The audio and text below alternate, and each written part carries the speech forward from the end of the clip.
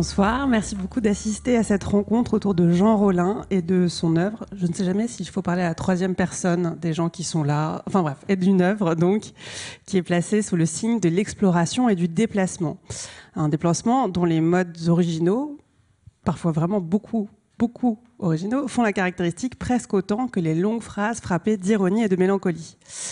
C'est une œuvre, Jean Rollin, où le narrateur, qu'il soit tout à fait vous ou pas tout à fait, met en place un protocole d'exploration euh, remarquable, qui fait parfois penser qu'il est arbitraire euh, et qui marque une claire dilection pour la désolation et la périphérie. Que ce soit dans des lieux fort peu lointains ou dans des contrées que l'on pourrait qualifier de plus exotiques. Cette œuvre, nous allons tenter d'en arpenter l'arrière-pays et les contours au cours de cet échange qui sera, suivi de questions du public. Et nous allons, pour cela, tenter de suivre un fil directeur qui est la question des lieux et puis des non-lieux aussi. Pour donner un aperçu du paysage, vous allez commencer, Jean, par lire un extrait de votre plus récent livre, La traversée de Bondoufle, qui est paru chez POL en 2022. Euh, donc il y a un an, POL qui est votre éditeur depuis 2002. Et alors, sans vouloir rien divulgacher, notre échange devrait se clore par la lecture d'un texte à venir.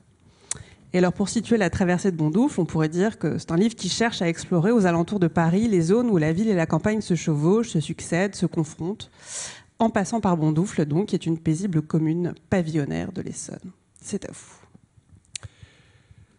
De même que la plaine de Pierrelet-Bessancourt, où est établi ce camp Rome, au milieu duquel je m'étais retrouvé par hasard, celle-ci a reçu pendant plus d'un siècle les bouts de la capitale, de telle sorte que la terre y est désormais gorgée de plomb ou d'autres métaux lourds et en principe impropres à tout usage agricole. Vue de haut et en cette saison, elle apparaît comme un immense terrain vague, parsemé de petits groupes de cabanes et de jardinets retranchés derrière des palissades, tels des hameaux dans lesquels survivraient des rescapés d'une catastrophe climatique. Une fois traversée la partie encore villageoise de Chanteloup, puis longée celle dont le développement a coïncidé avec celui de l'industrie automobile, on atteint la gare, on emprunte la passerelle qui franchit les voies, et on se retrouve aussitôt, sans même la largeur d'une rue à traverser, au bord de cet espace d'une platitude et d'une vacuité propice par exemple au déploiement d'une charge de cavalerie, parcouru par des chemins portant sur Google Maps des noms tels que Sentier des Tournants Petits Choux, Sentier des Hauts Châtelets ou Chemin des Trépassés. On s'engage sur le premier qui se présente en contrebas de la voie ferrée, avec le respect mêlé de crainte qu'inspire de tels noms. On longe des champs nus, mais donnant l'impression d'être entretenus, en dépit des métaux lourds et de l'anathème qui les frappe on traverse des fourrés plus buissonneux que forestiers. On tombe enfin sur le chemin dit de Pissefontaine à Carrière, celui qui sur la carte semble mener dans la direction souhaitée. Le chemin longe un premier groupe de bicoques et de carrés de choux, ceints de vieilles plaques de tôle, sans nulle présence humaine. Puis il en traverse un second plus conséquent, situé à la croisée de plusieurs voies, mais également désert un champ terreux et zébré en tous sens de traces de deux roues contribue au climat post-apocalyptique, paisiblement post-apocalyptique, qui s'est établi peu à peu, et ce n'est encore rien à côté de celui qu'induit un peu plus loin la décharge sauvage que le chemin longe avant de s'y dissoudre. Sur l'habituel substrat de matériaux de construction, la couche supérieure de déchets présente une grande variété d'objets domestiques, tels que des chaussures, des vêtements, des poupées désarticulées et d'autres jouets d'enfants. Et ce détail vaguement évocateur des à côté de l'épuration ethnique dans un pays en guerre lui confère un caractère particulièrement sinistre. Merci beaucoup. Est-ce que vous pouvez nous dire pourquoi vous avez choisi ce, passage et qu'est-ce qu'il aurait de, représentatif, peut-être, de la manière dont vous envisagez la description des lieux? Bah D'abord, c'est toujours assez difficile de choisir un passage plutôt qu'un autre. J'avais choisi celui-là, je ne dis pas ça pour faire le banin, mais je l'avais choisi pour deux raisons. Euh, l'une est une citation de George Orwell, qui est une citation peu connue de George Orwell, qui est un auteur que j'aime particulièrement, euh, y compris euh, y compris sa personne, ce qui n'a pas tellement d'importance, mais il se trouve que c'est un des, un des rares écrivains d'une certaine importance dont la personnalité ne gêne pas l'œuvre, comme dit l'autre. Bon, bref, donc une citation de Orwell, non, il y en a quand même d'autres. Hein, bon. Euh, et l'autre raison, c'est parce qu'il y est question de l'appro, d'une prolifération de l'appro. Et en fait, comme j'ai décidé de raccourcir, j'ai décidé de vous épargner le texte plus long que j'avais d'abord prévu de lire. Euh, dans ce que j'ai lu n'apparaît ni la citation de George Orwell, ni le pullulement de l'appro. Voilà. Euh, mais c'était effectivement ça les raisons de mon choix. Et puis à part ça, je l'ai choisi aussi parce que ça décrit oui, un genre de paysage. Euh, est-ce que je peux dire que je les aime bien? Je sais pas. Enfin, le genre de paysage qui m'attire et qui m'intéresse, oui. Qui est, comme je le disais, un, paysage paisiblement post-apocalyptique. Parce qu'une description chez vous, c'est à la fois euh, la, matérialité des lieux, comme on l'entend, et puis euh, l'épaisseur que donne la référence littéraire.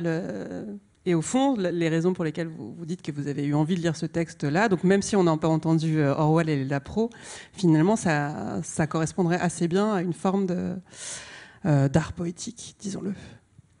Si, si les, références littéraires sont bah, importantes L'épaisseur, non pas, non pas les références littéraires en tant que telles, mais l'épaisseur littéraire qu'apporte, euh, enfin, l'épaisseur qu'apporte le, le, substrat littéraire, le rapport littéraire que vous avez au lieu, euh, qu'il est presque aussi important que les lieux eux-mêmes. Oui, oui, certainement, oui. Euh, mais là, il se trouve que c'était une, coïncidence véritablement merveilleuse, puisque je, Donc, du coup, je vais raconter l'histoire à défaut de la lire, enfin, l'histoire. C'était en. Je, pense que ça n'apparaît pas dans l'extrait que j'ai lu, mais c'est en, hiver, un hiver assez rigoureux, comme c'est désormais assez rare, enfin, un moment assez rigoureux dans l'hiver.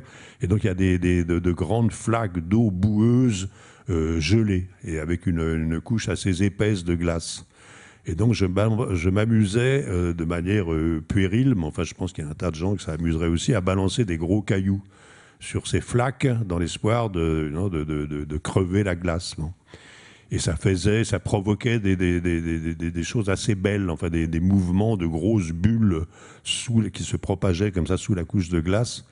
Et là-dessus, je découvre, en plus, euh, oui, je crois que c'était vraiment par hasard, quoi, en lisant la, dans la grosse édition Ivrea de Orwell, où il y a toutes sortes d'articles, etc., je découvre un, texte d'Orwell dans lequel il décrit, il joue exactement au même jeu. Et, c'est vrai que ça m'a fait plaisir. et par surcroît, euh, c'est encore une chose, évidemment, enfin, j'ai un peu quelques scrupules à dire des choses que j'ai en commun avec Orwell, mais une chose qui me rend Orwell proche et sympathique, c'est qu'il s'intéressait beaucoup aux oiseaux, comme moi. Et donc, il prétend que le bruit que fait le caillou en glissant sur la glace est tout à fait semblable au cri du chevalier Gambette. Alors, à vrai dire, moi, je ne vois pas tellement la pertinence de cette comparaison, mais en tout cas, ça me rendait la citation d'Orwell encore plus précieuse et encore plus euh, pertinente.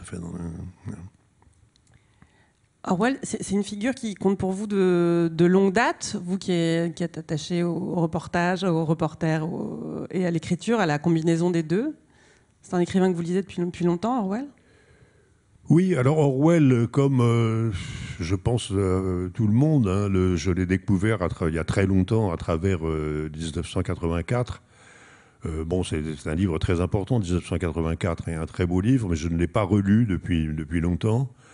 Et c'est pas ça le, moteur principal de mon amour d'Orwell, ça n'est pas le 1984, ça n'est pas non plus la ferme des animaux, ça n'est pas c'est principalement euh, un livre qui, a été longtemps méconnu, qui ne l'est plus aujourd'hui, qui s'appelle Hommage à la Catalogne et qui est le récit du séjour, euh, enfin, si on peut appeler ça un séjour, euh, de la période pendant laquelle il, il s'est engagé dans la milice d'un parti espagnol d'extrême gauche, mais d'extrême gauche anti-stalinienne, le POUM, le Parti ouvrier d'unification marxiste.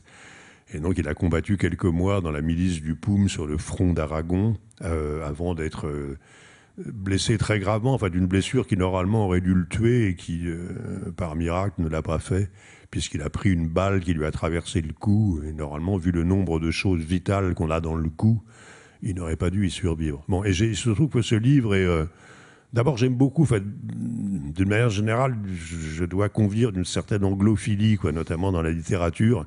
Et je pense, même si c'est une idée très banale, que l'humour en littérature reste quand même très largement le privilège des Anglais. Il y a beaucoup plus d'anglais, d'auteurs anglais drôles que d'auteurs de n'importe quelle autre nationalité, à mon avis. Maintenant, tout dépend aussi quel type d'humour on apprécie. Euh, Orwell, qui n'était pas vraiment un marrant, a quand même voilà, une espèce d'ironie, de distance, notamment dans la, description de ce qui est un engagement militant extrême, puisque c'est un engagement mortel potentiellement. Et à aucun moment il ne se départ de son ironie, euh, mais y compris vis-à-vis de ses camarades, vis-à-vis c'est plein de réflexions euh, extraordinairement désabusées sur l'invraisemblable désorganisation de cette milice, son indiscipline, son, et donc c'est un livre d'une enfin, espèce de mélange de, euh, de courage et d'honnêteté qui sont deux choses qui ne vont pas toujours ensemble. Quand normalement quelqu'un qui s'engage à ce point sera enclin à mentir sur euh, les fautes ou les crimes commis par le camp dans lequel il s'est engagé, etc. Orwell, non. Et notamment, ce livre est marqué par une, une chose extrêmement importante et que, il me semble, les gens continuent à mal connaître, qui est la, euh, enfin que le, ce qu'on peut appeler le camp républicain en Espagne était extraordinairement divisé, bon, euh, de telle sorte que si par euh, chance il avait gagné la guerre, il s'en serait probablement suivi des troubles importants entre les différentes composantes de ce camp. Bon. Et donc il y a eu à un moment donné à Barcelone hein, des combats très violents, opposant le, disons les, enfin j'emploie un vocabulaire un peu daté, mais enfin les staliniens, puisqu'il faut bien les appeler par leur nom, d'un côté, euh, et les socialistes ralliés, comme euh, c'est souvent le cas aux staliniens, et, de l'autre des, anarchistes euh, et ces militants du POUM désignés improprement comme trotskistes. Orwell se bat naturellement, mais se bat bien malgré lui. Il se bat désespéré de devoir combattre des gens qui sont quand même dans son camp. Il participe à ces combats et il en rend compte d'une manière extraordinairement honnête et non seulement il en rencontre de manière extraordinairement honnête, mais il rajoute encore une note, euh, enfin qui est plus qu'une note, une annexe où il dit ne perdez pas de vue que quand je vous raconte tout ça, je le fais de mon point de vue, qui était celui d'un combattant de la milice du Poum, et que ce que je raconte, ça n'est certainement pas euh, toute la vérité et rien que la vérité. il faut également voir le point de vue du parti adverse. Et, le, ce livre, bon, le, mais c'est aussi le Bon, dans, ce livre, il y a des descriptions de paysages justement absolument magnifiques. Il y a des, Enfin, je, trouve que c'est un, euh, oui, je trouve que c'est un livre important, hommage à la Catalogne. Quoi, c'est pas seulement un témoignage sur la guerre d'Espagne, c'est littérairement aussi un livre important. Euh, moralement, c'est un livre important. Euh, voilà. Donc c'est ça surtout. C'est surtout ce livre-là qui m'a qui m'a inspiré cette dévotion orwellienne. Mais vous l'avez lu quand? Parce que vous avez vous-même été très extrêmement engagé ou engagé à l'extrême. Euh, est-ce que vous l'avez lu avant ou après? Ou pendant? Non, j'ai lu, alors justement, j'y reviens, j'ai lu, euh, j'ai lu 1984 quand j'étais lycéen, ce qui aurait dû me mettre en garde contre des idéologies auxquelles j'ai adhéré par la suite. Euh, mais ça n'a pas été le cas. et en revanche, Hommage à la Catalogne, je l'ai lu récemment, enfin ce que j'appelle désormais récemment, c'est-à-dire il y a une petite quinzaine d'années, peut-être même une petite vingtaine, hein, une quinzaine d'années. D'accord, alors on va remonter un tout petit peu avant dans vos, dans vos lectures euh, et dans les, dans les lieux peut-être qui vous ont constitué. Euh, votre père était médecin militaire, vous avez voyagé enfant, vous avez grandi en, partie en Afrique. Mais s'il y a un point fixe auquel vous vous référez dans vos livres, y compris dans, dans Crack par exemple, qui est votre avant-dernier, si je ne m'abuse, euh, où vous cherchez votre, un point commun avec, euh, avec euh, Lawrence, c'est euh, la ville de Dinard en, Bretagne, qu'on retrouve dans votre bibliographie à, plusieurs reprises. Pourquoi Qu'est-ce que ça a fabriqué chez vous, ce, ce lien enfantin avec, avec Dinard? Mais là, le, danger en répondant à cette question, c'est d'être interminable. Parce que c'est vrai que de Dinard, enfin bon, Dinard, euh, oui, j'aime beaucoup Dinard. d'une certaine façon, je pense que l'estuaire de la Rance est le plus bel endroit du monde. Mais je, pense que tout le monde est enclin à penser ça, dans une certaine mesure, des lieux de son enfance. Bon. Euh, en fait, je me suis retrouvé à Dinard pour des raisons de, familiales, mais liées, liées à l'histoire. Voilà, le, euh, c'est un contexte très particulier. J'ai, euh, mon père était nommé à ce moment-là, il n'était plus médecin militaire, il était administrateur, il avait quitté l'armée où il exerçait effectivement l'activité de médecin à, la fin de la Deuxième Guerre mondiale. je précise quand même au passage qu'il avait combattu dans les forces françaises libres. Et malgré ça, il a quitté l'armée parce qu'il n'avait pas du tout l'esprit militaire. C'était aussi, lui, quelqu'un d'assez, enfin, même de très anarchisant. Il est devenu administrateur. Il a, et à ce moment-là, il est au moment, enfin peu après ma naissance, il, il est nommé au Congo Brazzaville, ce qui s'appelle aujourd'hui le Congo Brazzaville. Et à peu près en même temps, j'ai un oncle, un frère de ma mère, qui lui était marin, militaire aussi, et qui est tué en Indochine. il faudrait raconter toute cette histoire depuis le début, parce que c'était tout à fait anormal que dans la famille de ma mère, qui était une famille d'instituteurs socialisants, euh, qui s'honorait d'avoir euh, manifesté pour Dreyfus au moment du procès de Dreyfus à Rennes, etc. Comment est-ce que cette famille avait produit un officier de marine? Dans le contexte de l'époque C'est tout à fait étonnant. En tout cas, ça ne lui a pas porté chance. Il a été tué donc euh, en Indochine, ce frère de ma mère. Et ça a provoqué une espèce de bouleversement, enfin de, oui, de, de, séisme dans la famille. Quoi. il était extrêmement aimé et de sa sœur, c'est-à-dire ma mère, et de sa mère, ma grand-mère.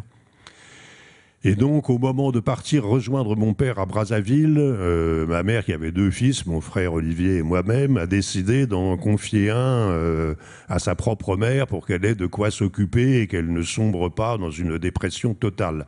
Mon calcul, je pense qu'on ne ferait pas le même calcul aujourd'hui, j'en sais rien. Euh, évidemment, ça pose la question qui est certainement aussi importante pour mon frère que pour moi, et dont bien entendu nous n'avons jamais débattu, c'est qui était le fils préféré était-ce celui qu'elle a pris avec elle et qu'elle a emmené à Brazzaville ou celui qu'elle a confié à sa mère? Très difficile d'y répondre. Très difficile, mais je pense aussi très. Enfin, je pense que ça nous a bien travaillé. Hein. Et donc, je me suis retrouvé dans ce contexte confié à ma grand-mère, qui est donc institutrice en retraite, qui habitait à Dinard, dans une maison avec un jardin. Et c'est vrai que c'est une période extraordinairement importante de ma vie. Alors, c'est important à cause de ce contexte que je viens de brosser, dont je viens de brosser les grandes lignes. Euh, puisque donc c'est pas c'est pas une simple villégiature quoi. C'est voilà, je suis d'une certaine façon, sans jeu de mots, le tenant lieu de ce jeune officier de marine euh, tué bêtement en Indochine. Et le fait est que ma grand-mère, que j'ai quand même assez bien connue, se serait probablement laissée mourir de consomption, comme on disait autrefois. Enfin, elle se serait laissée mourir d'une manière ou d'une autre, tant elle était affectée par la mort de ce fils, si elle n'avait pas eu à s'occuper d'un très jeune enfant. Quoi. Et, ça, c'est très constitutif, si vous voulez, de ma personne, parce que comme elle était institutrice, j'étais dispensé dans, ces années-là d'aller à l'école. Donc c'est elle qui me faisait, qui m'a appris à lire, à écrire, etc. Bon. Et le, bon, ça crée un rapport particulier. C'est-à-dire que là, c'est quand même une période où normalement on vit avec d'autres enfants. Moi, je ne connaissais pas d'enfants, ou très peu quand même. Je vivais avec deux vieilles dames. Et, au demeurant, j'ai gardé un souvenir euh, assez merveilleux, certainement fantasmé de cette enfance. Et donc un attachement pour Dinard qui en même temps pour moi est la ville la plus triste du monde. C'est la ville d'un certain nombre de deuils, euh, ceux de ma, mère, ceux, de, certains des miens aussi. Enfin bon, voilà, une ville à la fois extrêmement triste et en même temps, bien que je ne sois pas particulièrement enclin à, comment on appelle ça, la Schadenfreude, la, la tristesse. Schadenfreude? Oui je, euh, voilà, j'aime cette ville. Quoi. J'aime, enfin, j'aime cette ville. Non, j'aime pas cette ville. D'ailleurs, non, mais je veux dire, j'aime la, j'aime le, site. J'aime, j'aime les souvenirs que j'y ai et j'aime la beauté du site. Autrement, sans excès de snobisme, je n'y ai jamais connu personne d'autre euh, qu'un gardien euh, ivoirien du casino de Dinard.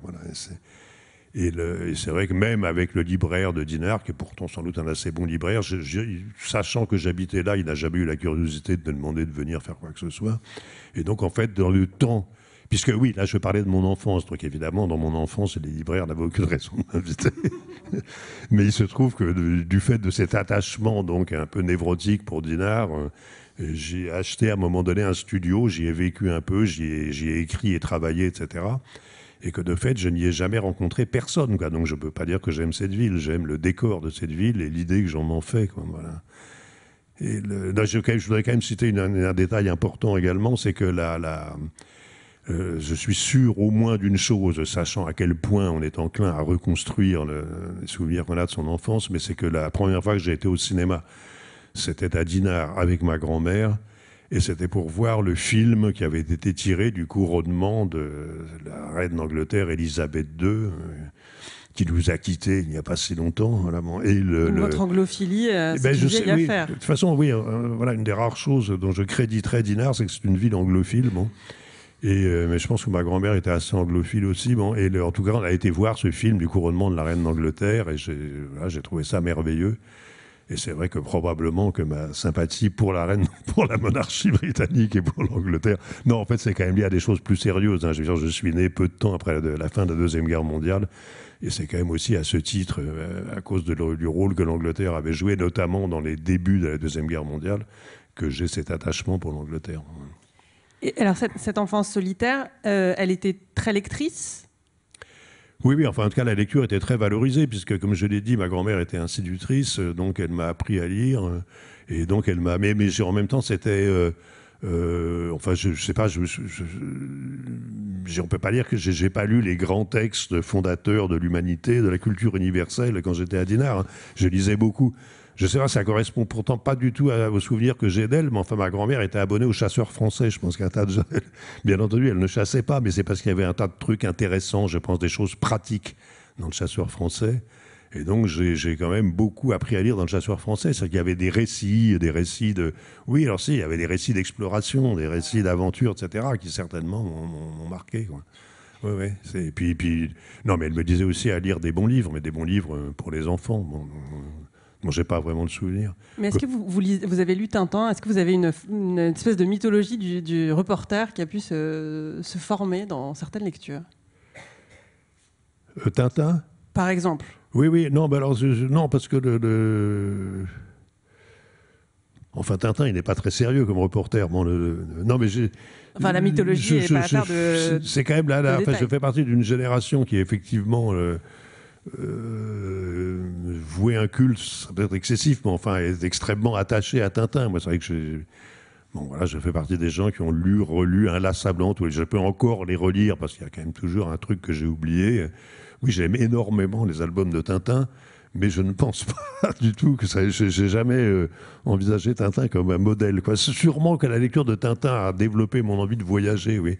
Mais bon, le côté reporter, j'ai jamais envisagé comme un reporter. De toute façon, en vérité, ce qu'il fait, c'est pas du travail de reporter, c'est du travail de détective plutôt.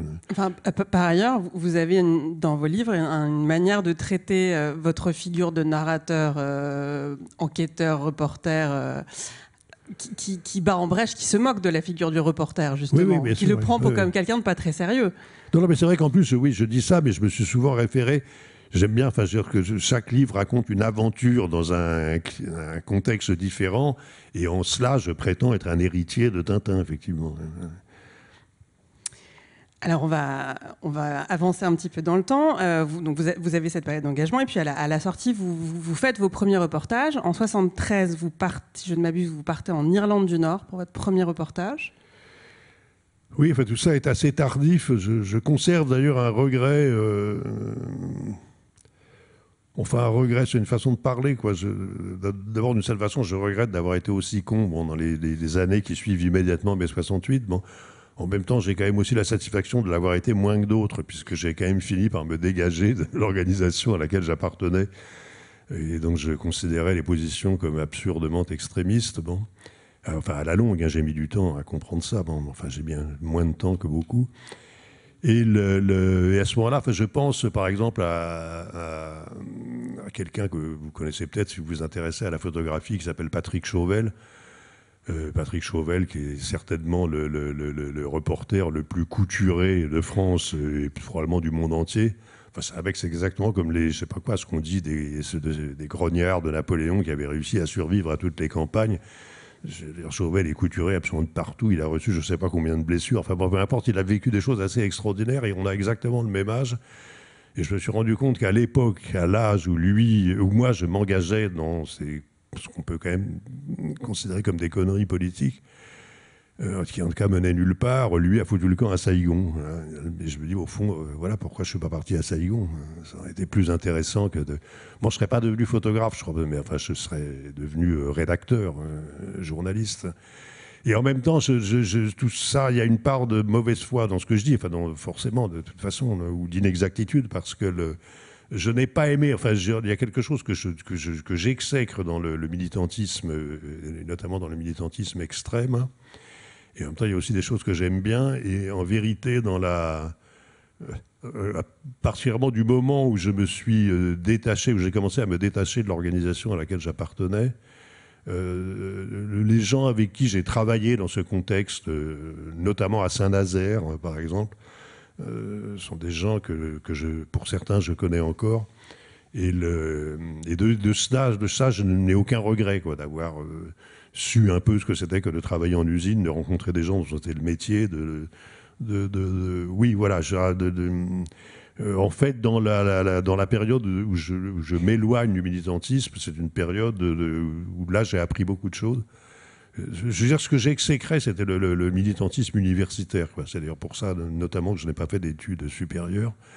Et, parce que quand même le sectarisme et l'aveuglement étaient fait le sectarisme et l'aveuglement est presque toujours beaucoup plus fort chez les intellectuels c'est triste à dire hein, mais que chez des gens ordinaires encore une conviction que je partage avec Orwell d'ailleurs et, donc quand je me suis éloigné du climat de frénésie qui, qui pouvait régner dans les facs pour euh, faire autre chose travailler dans un contexte plus normal.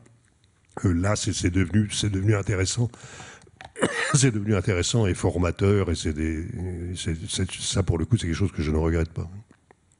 Merci.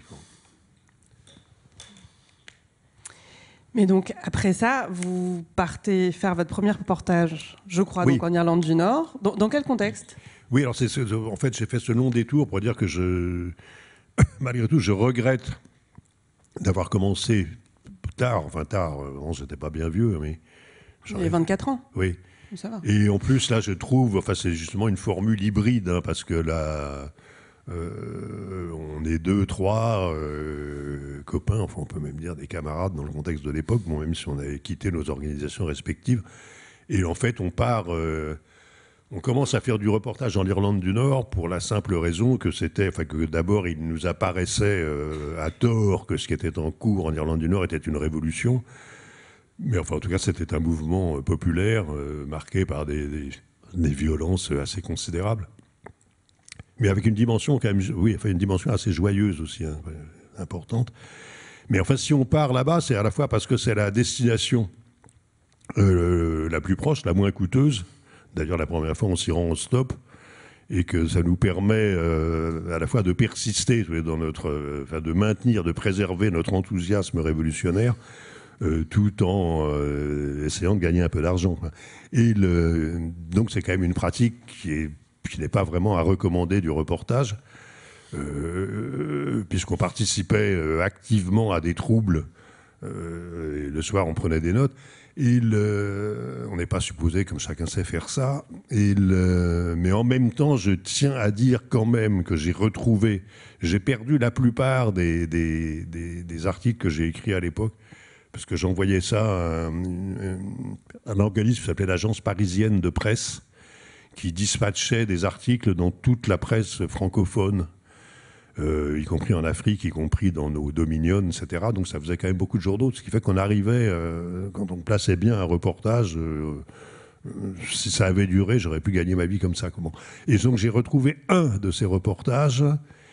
Et j'ai constaté qu'en dépit de mon parti pris, du fait que j'étais totalement, si ça a un sens, pro-irlandais et anti-anglais dans ce contexte, bien qu'anglophile, et le, reportage que j'ai fait n'est pas mensonger. Il n'est pas mensonger. Euh, voilà, je décris les choses effectivement telles que je les ai vues, parce que je m'en souviens. Et donc il y a un ton qui est peut-être un peu grandiloquent, mais les, faits que je rapporte sont ceux que j'ai observés. Je n'y rajoute rien, je n'en retranche rien. Voilà. Bon, je dis ça pour. Euh, euh, voilà, c'est peut-être un peu, un peu vaniteux de dire ça, mais j'étais quand même content et un peu surpris de voir que, en dépit de du fait que j'étais absolument de parti pris, je n'ai pas raconté trop de conneries. Bon. Et malheureusement, ça a marché. Euh, ça a marché cette année-là, ça a marché l'année suivante. Euh, l'année où on est parti la première fois, c'était l'année qu'on a appelée l'année de l'introduction de l'internement, l'internement administratif, qui était une disposition, enfin, qui était en gros une suspension de toutes les garanties légales pour les prisonniers définis à l'époque comme républicains, enfin, c'est-à-dire anti-british en Irlande du Nord. Et donc ça avait suscité des, troubles considérables, des manifestations, des attentats, etc. L'année suivante, la presse s'intéressait encore un peu à l'Irlande du Nord. Donc on a pu de nouveau au moins financer les voyages qu'on y faisait. Mais je me suis aperçu après que, voilà, au bout d'un moment, tout le monde s'en fout. La fièvre retombe, euh, les événements sont moins sanglants ou moins saillants, et donc, euh, voilà, ça marchait plus. Quoi. Donc été obligé de, Voilà, je pouvais plus, je savais pas quoi faire. donc donc j'ai renoncé momentanément au reportage. Et à ce moment-là, je suis devenu ce que j'appelle polygraphe. Enfin, j'ai euh, donc ça me permettait au moins de, continuer à écrire, qui est une chose à laquelle je pense je tenais, enfin dont j'avais besoin. Hein. Et puis incidemment, c'est ça aussi qui m'a permis de vivre. Et donc là, j'ai fait un tas de trucs. Euh, j'ai participé, y compris à une, encyclopédie qui s'appelait Le Christ en son temps, par exemple. Donc à l'époque, je suis devenu assez calé en christologie, euh, en histoire de l'Église, des origines à nos jours, etc. Enfin bon, des domaines que je maîtrisais assez mal, a priori. Bon. Et j'ai tenu aussi à un moment donné une rubrique. Euh, euh, ça, j'en reviens pas, parce que du coup, c'est quand même la. bon, je me souviens quand même d'avoir lu mon nom mal, orthographié, d'ailleurs, à la une du journal Le Monde. Donc à l'époque, pour moi, c'était une consécration extraordinaire, parce que j'avais, euh, j'ai assuré pendant un moment une petite chronique de promenade architecturale dans Le Monde. Ça s'appelait Trois heures à perdre. Et donc, paf, le premier paraît, Jean Rollin avec deux ailes. Mais enfin, bon, c'était quand même mon nom à la une, parce que c'était tout petit, mais c'était à la une du monde. Et le, donc voilà, j'ai fait des trucs comme ça, comme ce que j'appelle donc polygraphe. Euh, j'ai participé à une, entreprise qui était aussi assez passionnante, qui s'appelait, c'était un truc italien, ça s'appelait l'encyclopédie du crime. Et c'était des, des recherches assez savantes hein, sur de, de, grandes affaires criminelles. Euh, la plus ancienne dont je suis occupé, c'est l'affaire Calas, celle dans laquelle, euh, enfin, dont Voltaire s'était occupé. Et ça allait jusqu'à Landru. Et, euh, et c'était des... Bon, c'était pas superficiel. Hein. Je travaillais notamment sur la Gazette des tribunaux à la BN. C'était bon, pas, c'était pas, ça n'avait pas non plus le, niveau de sérieux d'un travail universitaire, mais c'était quand même du, c'était intéressant. Donc j'ai fait ça pendant un bon moment. Et puis je ne sais pas, euh, qu'est-ce qui se passe après. Et puis en 1980, euh, vous publiez votre premier livre, Chemin d'eau. Comment? Oui, c'est ça. Bah, alors justement, c'est sur la base des petits trucs que je faisais à droite à gauche, notamment des chroniques d'architecture, etc., qu'on m'a proposé d'écrire de, d'écrire un livre. Euh, sur, en fait, c'était une éditrice, en fait, c'est Nicole Lattès, qui a été pendant longtemps mon éditrice et que j'aimais beaucoup. Bon, euh, Nicole Lattès, à l'époque je ne la connaissais pas, bon, elle, avait, elle avait beaucoup aimé un livre de Jacques Lacarrière qui s'appelait Chemin faisant, qui était un récit d'une traversée de la France par les chemins, d'une tonalité très différente d'un livre plus récent sur le même sujet. Et, elle souhaitait euh, que ce fût ou non une bonne idée. Euh, elle souhaitait demander à quelqu'un de faire la même chose avec les canaux, sur de traverser la France euh, sur les canaux, les voies navigables, etc.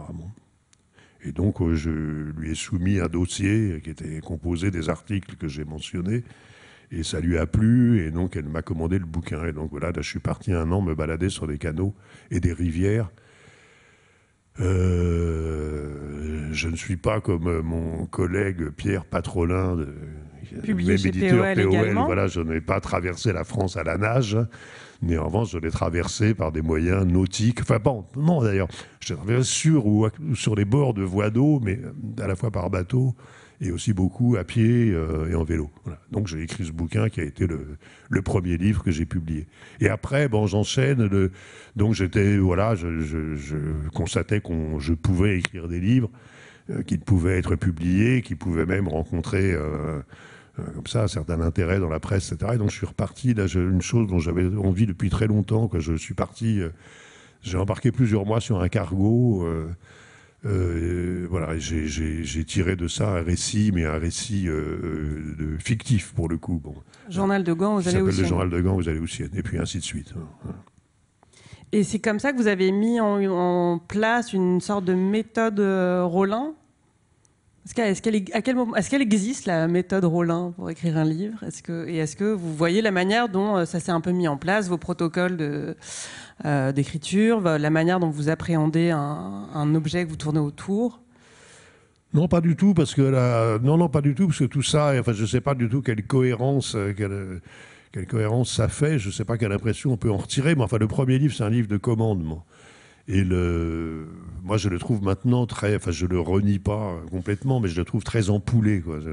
Il y a un enthousiasme pour les adjectifs, les adverbes, etc., qui est quand même euh, assez excessif. Euh, après ça, j'ai fait, donc je suis parti sur ce, cargo. Je suis parti de loin, hein, euh, dans un milieu quand même assez particulier, comme chacun sait, très clos, très il, euh, enfin, il y a la fois l'ouverture des,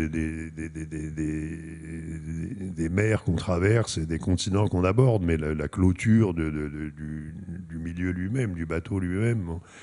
j'ai écrit un truc complètement différent, qui était non seulement fictif, mais qui était. Euh, enfin, c'est une fantaisie. Enfin, c'est, je, décris des choses qui n'existent pas, des gens qui montent au ciel. Donc, c'est deux livres complètement différents. Et après, j'ai enchaîné sur un troisième qui a dû avoir euh, une bonne cinquantaine de lecteurs. Que Lors du scaphandrier. Voilà, que jusqu'à maintenant, personne, je déplore, mais personne ne m'a proposé de rééditer, qui s'appelle Lors du scaphandrier, qui était également une fiction. Euh, il a aussi une fiction à la limite du, enfin par moment du fantastique. Donc c'est quand même des choses assez euh, différentes de ce que j'ai fait par la suite. Quoi. Et en revanche, je pense que là, je, je retombe sur mes pieds, si je puis dire, avec un, sauf erreur, le dernier livre que j'ai publié d'ailleurs. C'est la thèse qui s'appelle La frontière belge. Et la frontière belge, c'était à la fois le résultat d'une exploration de la dite frontière, euh, mais c'était en même temps une fiction. Euh, donc là, il y a ces deux dimensions. Mais il y a une dimension très importante, de nouveau, de, l'arpentage de l'exploration de, d'un territoire d'un territoire assez nul. Je veux dire par là que non, la, la frontière belge en tant que telle n'a pas grand intérêt. Enfin, c'est pas des, c'est pas les montagnes rocheuses, c'est pas les, voilà. Et là, pourquoi ils vous intéressent ces lieux qui n'ont aucun intérêt? Eh bien, pour ça, justement, parce qu'en fin de compte, ils en ont toujours. Euh, voilà, euh, il y a mille choses à dire de la frontière belge. Et le, non, mais là, c'est parce que l'idée me plaisait. Enfin, ça, bon, d'abord, à la fois, je, à l'instar de Jean Echenoz sur la quatrième de couverture de ses premiers livres, je pourrais me définir comme un assez bon nageur. Je suis un assez bon marcheur également, mais malgré ça, je suis pas très sportif. Et donc, la frontière belge me plaisait parce que j'avais, de toute façon, le projet de la parcourir en vélo et je n'avais pas observé qu'à partir d'un moment, ça montait quand même dans, les Ardennes. Et d'ailleurs, du moment où ça a commencé à monter, j'ai arrêté. Donc, en fait, c'est là, j'ai décrit la frontière belge, mais de manière quand même assez minutieuse, de Dunkerque jusqu'à Maubeuge, à peu près. Voilà. Mais c'est, oui, je trouve pas, enfin, je trouve passionnant. Oui, je trouve assez passionnant d'explorer très minutieusement un terrain, un territoire, un, milieu, un paysage. Euh, dans lequel apparemment il n'y a pas grand-chose, quoi, et où, euh, voilà, petit à petit, ici, on trouve des choses, soit dans le paysage lui-même, soit dans le, les flux qui le traversent, les gens, les animaux. Je, suis très attaché aussi au changement, des, au cycle des saisons, la façon dont les paysages se transforment, euh, les activités, etc. Donc là, oui, la frontière belge, non, mais tout ça est important pour moi. Enfin, je veux dire, il n'y a pas de livre. Euh, en plus, c'est lié à des expériences qui m'ont intéressé. Quoi. Ça peu d'expériences m'ont autant intéressé que cet embarquement de plusieurs mois sur un cargo, au point de me faire regretter, euh, à l'époque où j'aurais pu faire des études, de ne pas avoir fait l'école de la marine marchande. Et ça n'est pas une façon de parler. J'ai encore ce regret et je, pense que c'est un métier que j'aurais volontiers exercé sans doute pas plus de 10 ou 15 ans, mais après tout, Conrad lui-même l'a pas fait beaucoup plus de 15 ans, soit. Et je suis sûr que pendant 10 ou 15 ans, j'aurais aimé faire ce métier. Et puis, le, voilà, donc, euh, oui. Quand, vous décrivez la manière dont vous, vous appréhendez la, la frontière belge, mais ça, peut valoir pour euh, quasiment tous vos livres. Il y a, quelque chose d'une tentative d'épuisement d'un lieu. Est-ce que ce, texte de Pérec, tentative d'épuisement d'un lieu parisien, ça fait partie de vos, de vos références? Oui, oui, bien sûr. Enfin, bon, le, pas spécialement. Oui, bien sûr, tentative d'épuisement d'un lieu parisien, mais pas.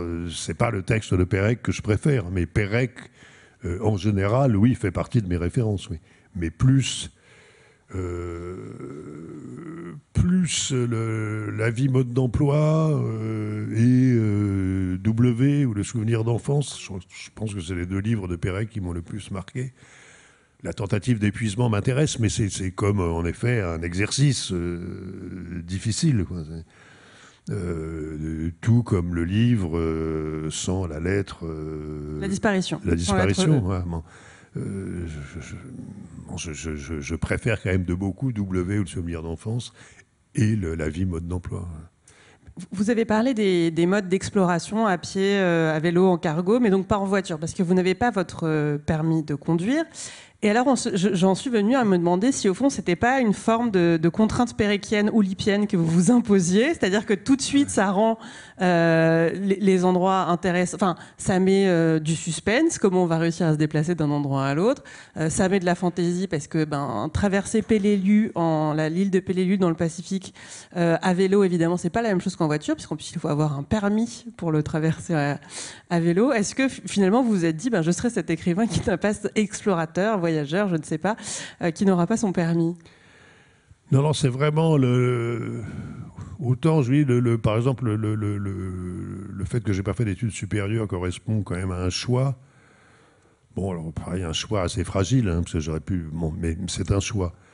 Ça a été un choix. Autant le, fait que je n'ai pas le permis n'est pas du tout un choix. C'est pas, D'ailleurs, j'ai pris, j'ai pris, enfin j'ai pris avec des, à titre privé des leçons de conduite, jamais avec une agence.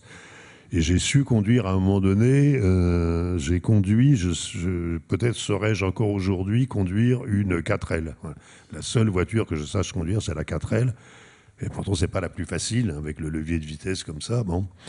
Et donc, à un moment donné, je savais conduire, mais avec quand même la seule chose, je ne savais pas me garer. J'ai jamais su me garer, je ne savais pas démarrer en côte. donc c'est quand même deux euh, un handicap.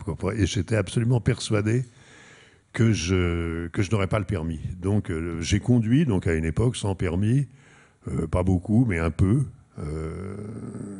toujours des 4L.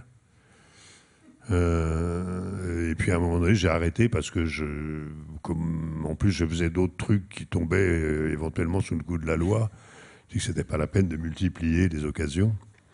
Donc j'ai arrêté. Donc, je donc effectivement, je ne sais pas conduire. Mais le, le, fait est que ça m'a euh, sans doute beaucoup servi. Mais non, ça n'est pas délibéré, mais ça m'a beaucoup servi parce que des choses que j'aurais pu faire beaucoup plus commodément en conduisant, je les ai fait malaisément euh, en n'ayant pas cette, ce recours. Et, voilà, je sais, par exemple, j'ai écrit un, livre aussi qui s'appelle la, ligne de front, qui est une euh, traversée d'une partie de l'Afrique, enfin de Dar es Salaam à, Cape Town. Euh, c'est vrai que si j'avais pu louer des véhicules et les conduire, euh, finalement, ce voyage n'aurait pas eu grand intérêt. Quoi. Alors que là, je devais trouver des moyens de m'acheminer d'un point à un autre, rencontrer des gens, trouver des solutions, et c'était beaucoup plus intéressant. Hein. Et je, Mais c'est aussi pour ça que le, oui, là, les deux derniers, la traversée de Bondoufle et le pont de Beson, c'est vraiment lié euh, intimement au fait que je ne sache pas conduire. Et mais mon, je pense que la, mon amour des détails, notamment des détails du paysage, etc., c'est lié à ça, quoi, parce que c'est euh, mais même le vélo, ça va trop vite. Hein. C'est vrai que pour voir vraiment les choses, euh, il faut être à pied. Alors en même temps, ça devient maintenant, les, par exemple pour le livre là, dont je dirais, on a le temps un extrait là, qui est le livre apparaître, euh, où là j'ai dû me rendre en Guyane. Et là, j'ai été vraiment emmerdé par le fait de ne pas savoir conduire, parce que c'est quand même pas un pays où on peut se déplacer à pied, il fait trop chaud. Euh, et les distances sont trop grandes. Et le, et donc j'ai dû faire appel à des gens pour me conduire, et en fait ça me perturbe, quoi, parce qu'on n'a pas du tout le même rapport à, ce qu'on voit quand on est avec des gens. D'abord il faut les entretenir, il faut être un minimum poli avec eux, il faut, euh, voilà, ils ont leur manie. Euh, euh, par pure gentillesse, ils s'encombrent d'un gigantesque pique-nique avec une glacière, etc. Alors que non, c'est pas du tout comme ça que je voyais les choses. Enfin bon, finalement, on est très emmerdé quand on est tributaire de gens qui vous conduisent. Quoi. Et donc maintenant, euh, voilà, à l'âge précisément où on s'apprête à ne plus délivrer de permis, sans doute à juste titre, parce que les gens sont trop dangereux. Euh, moi, j'aimerais bien qu'on m'en donne un. Mais à quel point ça, peut avoir un effet sur les lieux où vous choisissez d'envoyer votre Tintin personnel euh, pour vos projets? Est-ce que vous, est-ce qu'au moment de, vous lancer dans un projet, vous dites ah, là, là, ça va être compliqué, par exemple en Guyane, euh, cette affaire de voiture, comment Parce que c'est, quand même un vrai sujet, la manière dont on se déplace quand on fait du, du déplacement son moteur littéraire. Mais en fait, non, là, je sortais de deux livres, euh, Bondoufle et Beson. Euh, pour lesquels, au contraire, il était important de ne pas savoir conduire, où c'était un avantage évident. Et je me suis rendu compte en préparant le, voyage en Guyane que là, oui, ça devenait vraiment un, handicap.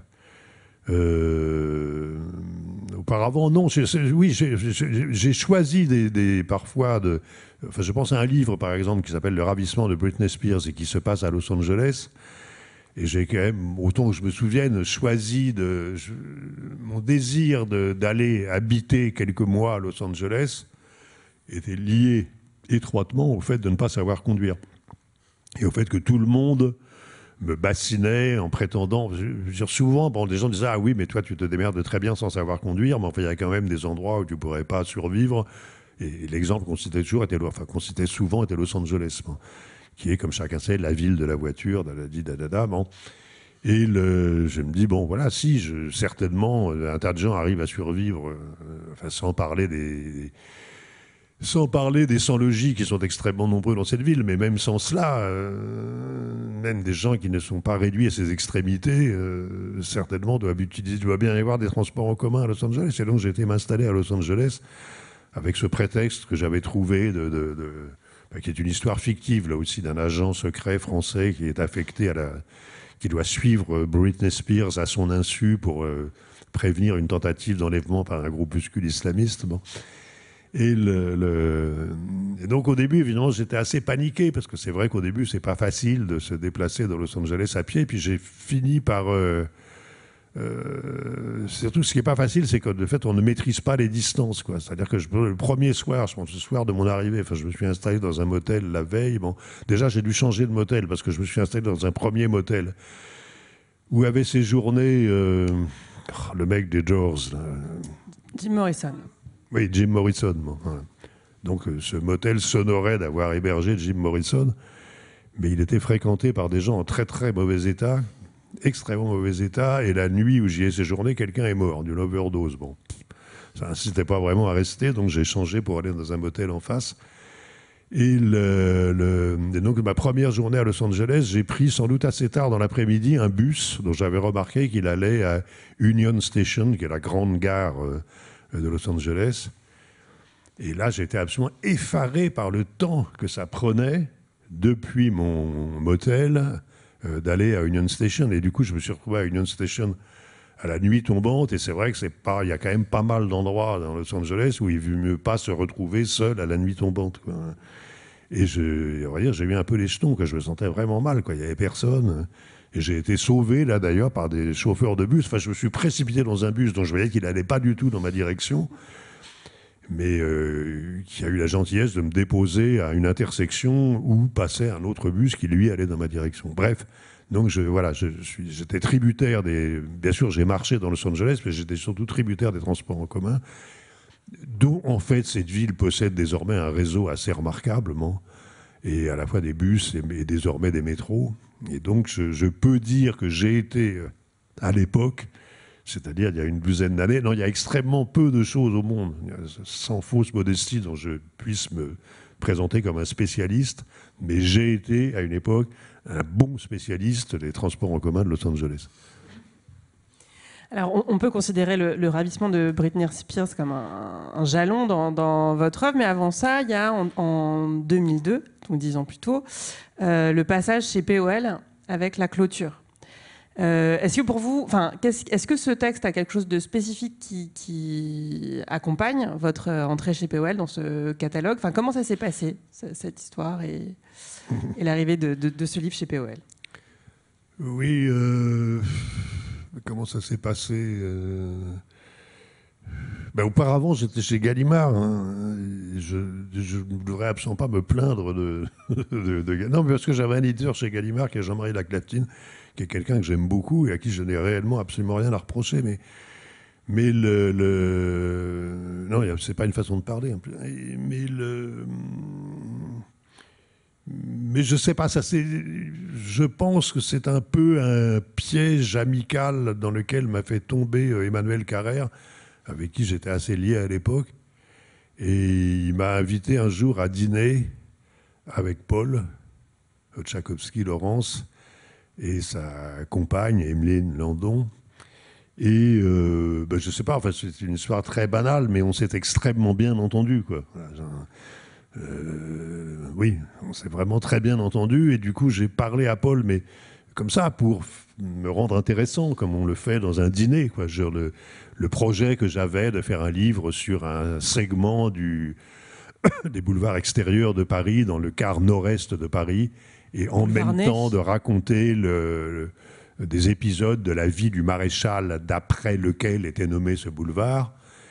Et bon, puis finalement, on en a reparlé, et finalement, c'est chez lui que ça s'est fait. Voilà.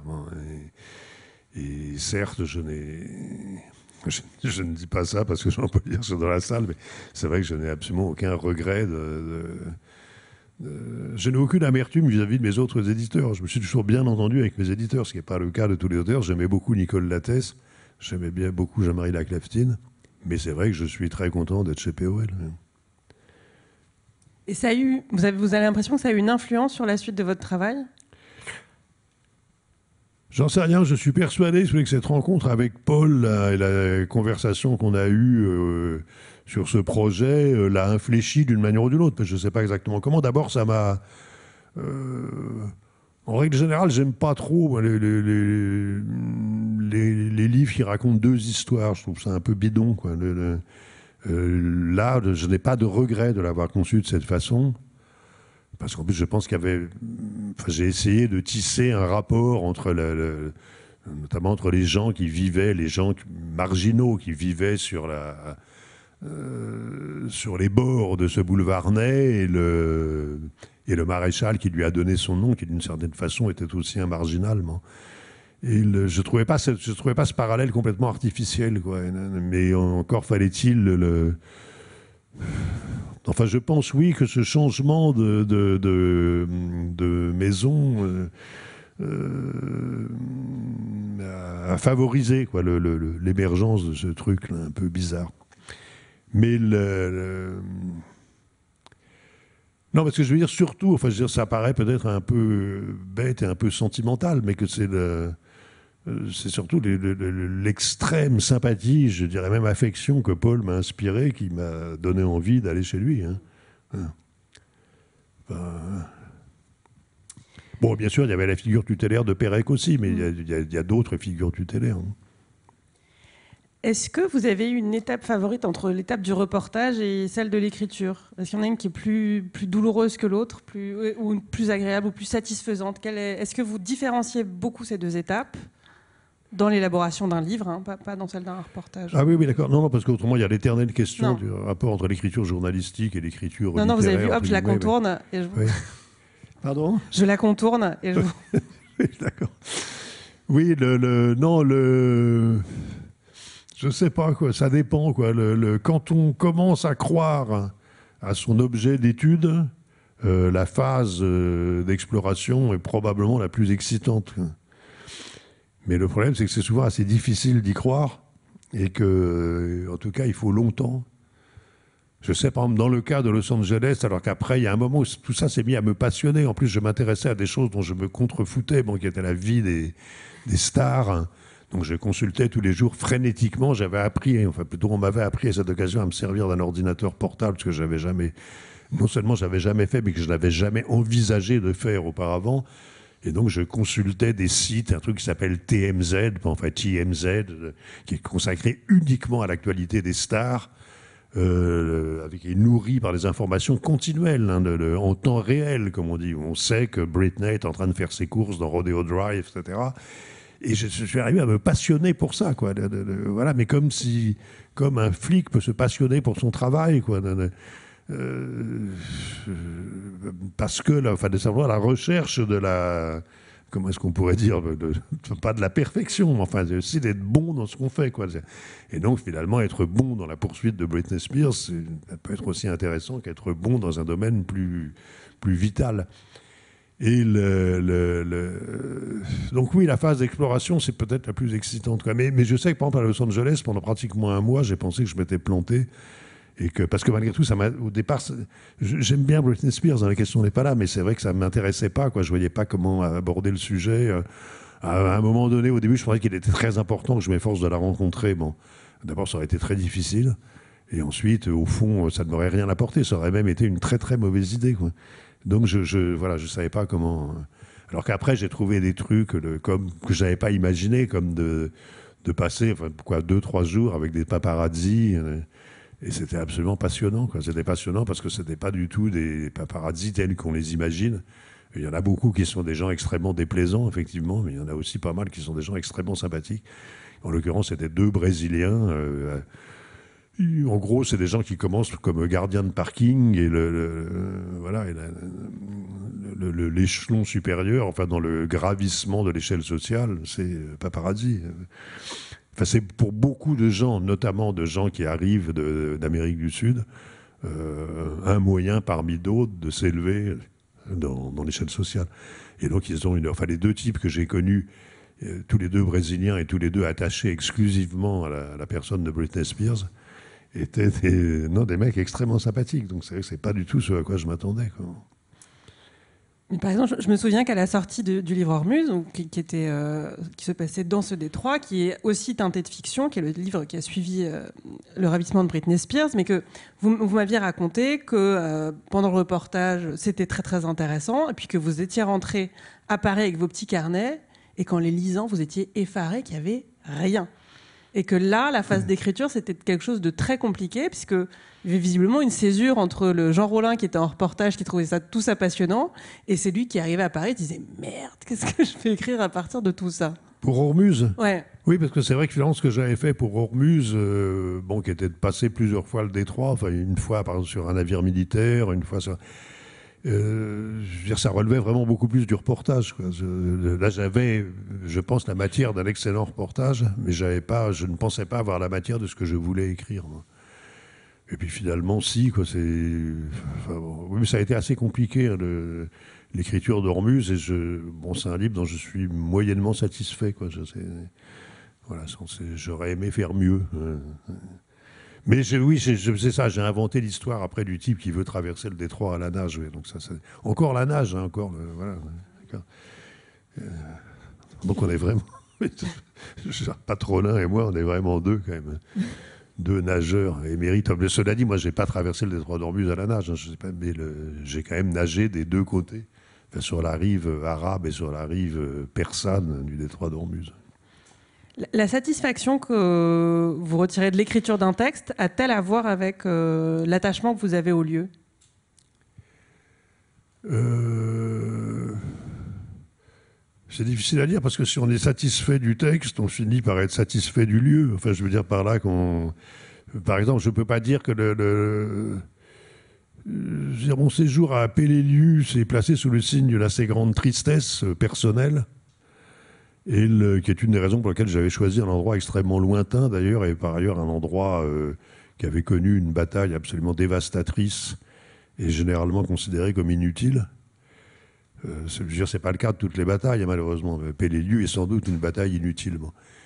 Et le, le, cette île a fini par me devenir assez chère, oui. Euh, mais je crois qu'elle m'est devenue chère surtout parce que là, au contraire, ça, enfin, on peut dire ça ou on ne peut pas, j'en sais rien, mais moi je peux dire que je ne suis pas satisfait d'Ormuz, que je suis satisfait de Pélélu. Bon.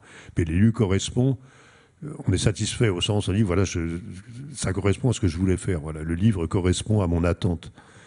Et, donc oui, j'ai fini par développer une, assez grande euh, affection pour cette île. Oui.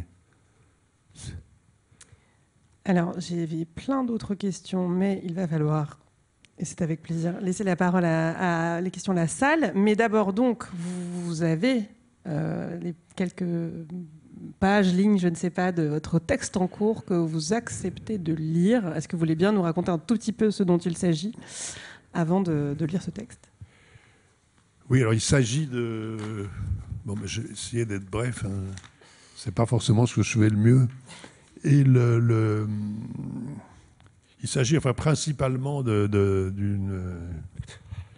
une espèce d'enquête, hein, à la fois à travers des documents, des livres, et, puis en Guyane, sur le terrain, comme on dit, euh, autour d'un personnage euh, euh, qui s'appelle Eugène Lemoult, qui a été, qui a eu à un moment donné le cabinet d'entomologie, enfin surtout de.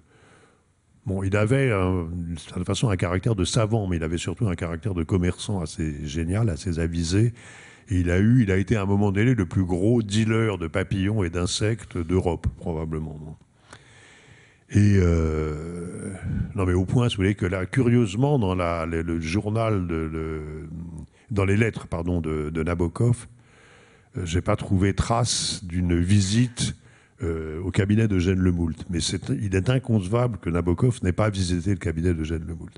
Et à côté de ça, que ce soit le, euh, Ernst Junger, euh, sous l'occupation, ou Nikita Khrouchtchev, non, pas Nikita Khrouchtchev, le fils de Nikita Khrouchtchev, lors de la première visite de Nikita Khrouchtchev en France, voilà, il profite pour l'un de l'occupation, pour l'autre de la visite de son père à Paris, la visite d'État, pour se précipiter au cabinet d'entomologie d'Eugène Lemoule et ce type-là, je précise tout de suite que ce n'est pas un personnage sympathique, malheureusement. Bon, il est le fils d'un fonctionnaire du bagne, enfin de quelqu'un qui travaillait dans la, pour la construction et l'entretien des bâtiments du, bagne.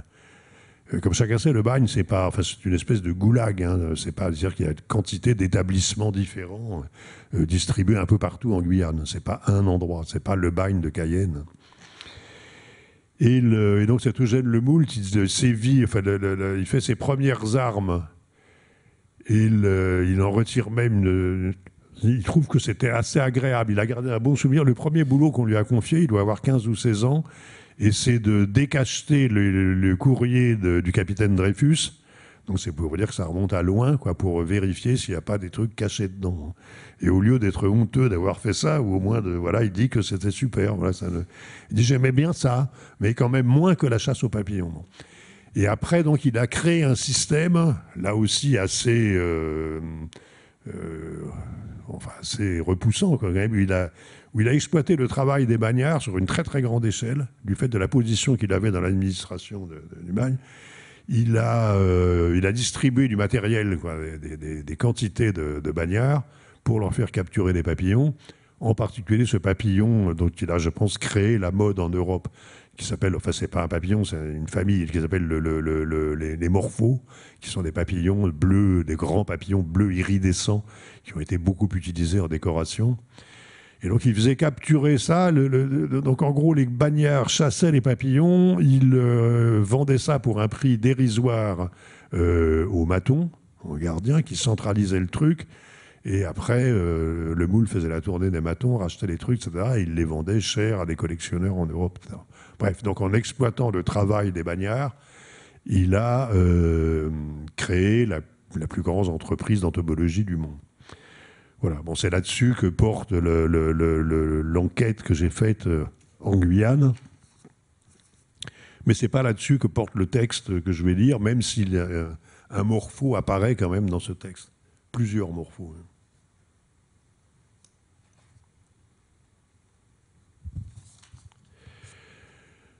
Donc le lendemain matin, nous avions traversé le fleuve à rebours, bu un verre à la terrasse de ce bistrot à Saint-Georges, dont la patronne passait pour avoir noué jadis un lien de courte durée avec Jacques Chirac.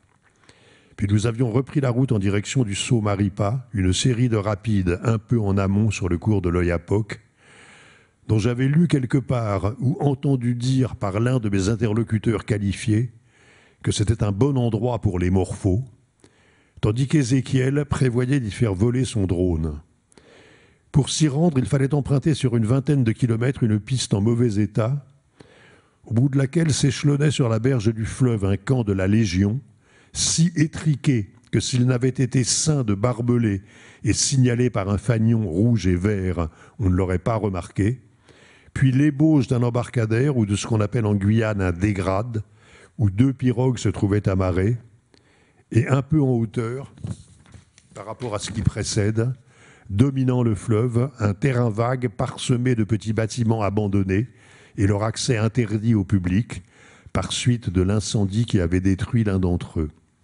Inévitablement, la plupart de ces bâtiments étaient maculés de graffitis encourageant des équipes sportives ou flétrissant des personnes, le plus souvent de sexe féminin, le seul qui témoigna d'une certaine originalité, proclamant qu'il était interdit de dormir ici, car la maison est hantée par des fantômes. Une menace que je me serais gardé de prendre à la légère si j'avais dû passer la nuit en ce lieu. En contrebas s'étendait le fleuve, écumant partout où la roche affleurait, bouillonnant autour des îlots, boisés ou non, qui formaient une chaîne discontinue d'une rive à l'autre. Dans la pente qu'épousait le terrain pour rejoindre le fleuve, un monument honorait des gendarmes décédés dans des circonstances obscures, ou du moins telles que ce monument échouait à les éclaircir, et des amaryllis d'une belle couleur orange fleurissaient dans l'ombre des bambous groupés en gros bouquets. Cependant qu'Ézéchiel, sur la berge, faisait voler son drone au-dessus des rapides, je m'abritais dans le bâtiment qui avait été celui du gardien et qui était désormais hanté par des fantômes, présumant que ceux-ci ne se manifesteraient pas dans la journée.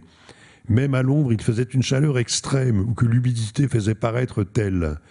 Au bout de trois quarts d'heure, ayant fait le tour de tout ce qu'il y avait à voir dans ce périmètre, et ayant aperçu deux ou trois morphos de l'espèce d'Eidamia, dans la plage horaire signalée par les ouvrages spécialisés comme la plus accueillante à cette espèce, ce qui, outre le plaisir de l'observation elle-même, me procura celui au moins égal de voir la réalité se conformer à ce qui était écrit dans les ouvrages susmentionnés, je commençai à trouver le temps long et je rejoignis Ézéchiel sur la berge au moment même où il faisait atterrir son drone. En conséquence, je lui suggérais que nous reprenions la route afin d'atteindre Cayenne avant la tombée de la nuit, d'autant qu'il me semblait voir s'amonceler des nuages gros de pluie, et que si une averse devait s'abattre sur la piste, celle-ci risquait de devenir impraticable. Mais Ézéchiel insista pour jouer une demi-heure de plus avec son drone, et à partir de ce moment, je n'ai plus le moindre doute sur le fait qu'à la longue, il allait le perdre, ce drone, auquel il imprimait de brusques changements d'altitude et qu'il faisait voler, à mon avis, trop près de la surface du fleuve ou de la végétation des îlots. Puis je me retirai dans l'ombre du bâtiment hanté, et un peu plus tard, c'est avec un sourire sardonique que j'accueillis la nouvelle de la chute du drone, probablement sur un des îlots, sans qu'il fût possible de savoir lequel, l'accident s'étant produit hors de la vue d'Ézéchiel. Mais ce qui aurait dû en toute logique entraîner la déconfiture d'Ézéchiel fut au contraire le prélude à son triomphe. Car dans un premier temps, ayant loué au dégrade les services d'un piroguier, qui se révéla particulièrement habile à manœuvrer dans les rapides, afin d'explorer ceux des îlots où il estimait que son drone avait pu s'écraser. Il finit par le retrouver et en assez bon état, alors que je ne lui aurais pas donné une chance sur mille d'aboutir à une telle issue. Et il prétendait même avoir eu le temps de rendre visite au père du piroguier, établi dans une petite maison bien visible sur la rive brésilienne. Puis lorsque la pluie se déchaîna tandis que nous roulions sur la piste, transformant celle-ci en un torrent de boue dans lequel d'énormes ornières invisibles depuis l'habitacle se creusaient en un rien de temps sous nos roues, Ézéchiel fit preuve d'une telle maestria au volant de son pick-up que j'en vins à l'envisager de nouveau comme le héros d'un roman exotique de Graham Greene et à regretter les sarcasmes que plus tôt dans l'après-midi m'avait inspiré la chute de son drone. Merci beaucoup Jean Rollin. Si vous avez des questions, elles sont les bienvenues.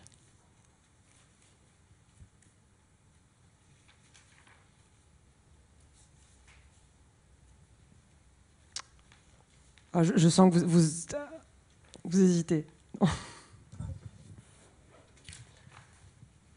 Non, alors, alors moi, j'ai, ah, j'ai une question, Jean-Roland, excusez-moi. Euh, en préparant cette rencontre, j'ai découvert l'expression de littérature viatique. Et je sais que vous êtes peu porté sur le terme écrivain voyageur. Est-ce que littérature viatique vous plaît plus? Ah oui, oui, oui, beaucoup plus. Oui, oui, oui, oui, c'est bien, littérature viatique, oui, oui. Pourquoi pas, oui. Voilà un problème de régler. Merci beaucoup. Pardon? Voilà un problème de régler. Merci Oui. beaucoup. Non, non, c'est vrai que je, oui, oui, j'aime pas la caractérisation d'écrivain voyageur. Enfin, euh, D'abord pour la simple raison qu'il y en a très peu de bons. Euh, à part euh, bon, le Suisse, dont évidemment je ne vais pas retrouver le nom. Nicolas Bouvier. Voilà, Nicolas Bouffier. bon, et quelques Anglais. Mais autrement, c'est quand même souvent un genre très mineur. Et qui regroupe un peu n'importe quoi. Donc et puis j'ai écrit des livres qui ne sont pas vraiment des, des récits de voyage. Enfin, si, à moins de traver- considérer que la traversée de Bondoufle, c'est un voyage. Mais bon, Bah, ça dépend de votre bilan carbone. ça dépend. de- Du bilan carbone, de, Oui. de celui que vous visez. Bien sûr. Dac. Dernière, euh, dernière tentative pour des questions. Eh ben, merci beaucoup. Merci à vous, Jean Rollin. Merci à vous d'avoir assisté à cette soirée et bo- bonne soirée. Au revoir, merci. Merci.